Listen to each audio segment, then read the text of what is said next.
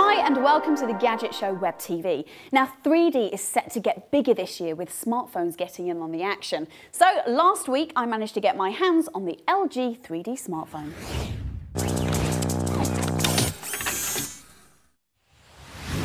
This is the LG Optimus 3D, a smartphone that boasts the latest in 3D glassless technology.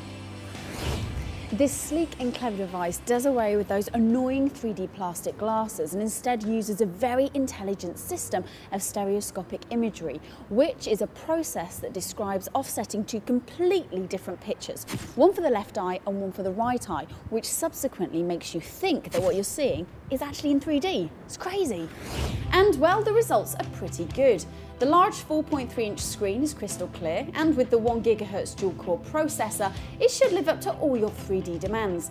Now, there is an option to turn off the 3D, but with a whole host of 3D games, apps, photos and videos to play with, there's plenty of reason to keep it switched on.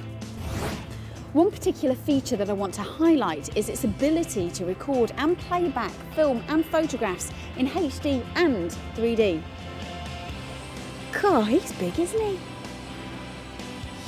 With two cameras on the back and through the magic of stereoscopy, you can now add a whole new dimension to your Friday night snaps. Overall, LG's Optimus 3D adds a whole new dimension to the mobile market, especially when it comes to portable gaming. This device potentially could build a community of 3D shooters online, and astonishingly enough, it literally fits just in my pocket. See ya!